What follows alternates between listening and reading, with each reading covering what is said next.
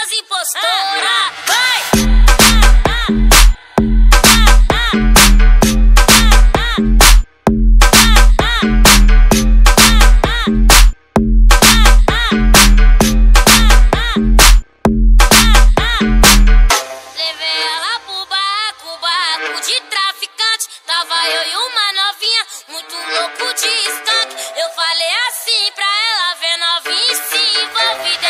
Mas esse é o DJ Bielzinho.